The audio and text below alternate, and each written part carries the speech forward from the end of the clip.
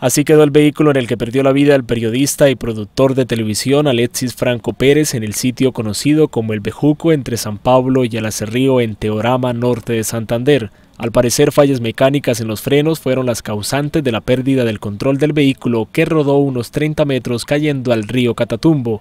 En el hecho, Franco Pérez tuvo varias lesiones en su cuerpo, siendo llevado al hospital Emiro Quintero Cañizares. El paciente llegó en las horas de la noche, eh, un paciente politraumatizado con dificultad respiratoria, alteración de signos vitales, fue subido al servicio de cirugía y, la información que tenemos es que el paciente fallece allá en, en sala de cirugía.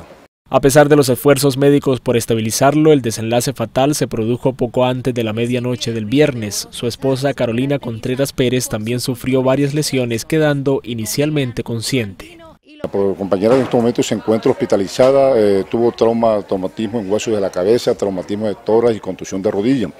Eh, la atención se le está dando de manera multidisciplinaria, le está, viene siendo manejada por cirugía, por ortopedia, por neurocirugía y por psiquiatría. Se le han hecho exámenes de laboratorio, se le hizo TAT, se le hizo ecografía, rayos X y en estos momentos se encuentra en observación Carolina Contreras tuvo complicaciones en su estado de salud durante el fin de semana y fue ingresada a la unidad de cuidados intensivos del hospital y su pronóstico por ahora se desconoce.